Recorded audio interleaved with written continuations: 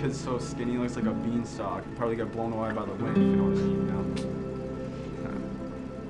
Let's go get his ass.